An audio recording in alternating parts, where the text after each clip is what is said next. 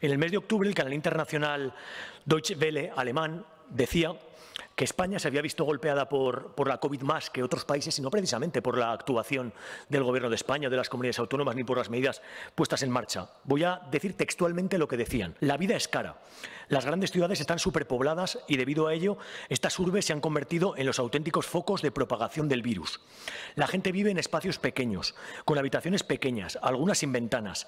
Allí solo unas pocas personas se sientan en casa frente a sus ordenadores. El resto trabajan en hospitales, en cuidados geriátricos, en restaurantes o en la limpieza.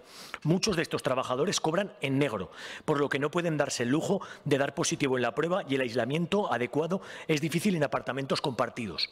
Es decir, que ponían el acento en dos cuestiones que son propias de nuestra economía y de nuestra sociedad, que son bajos salarios y precios de vivienda altos, y que todo lo que nos está pasando a nivel económico y a nivel de salud pública tiene mucho que ver con esto, porque es imposible una sociedad sana y con una economía que sirva a las personas si no tenemos resuelto este problema enorme de la desigualdad y de la precariedad de cada vez más gente en nuestros barrios y pueblos.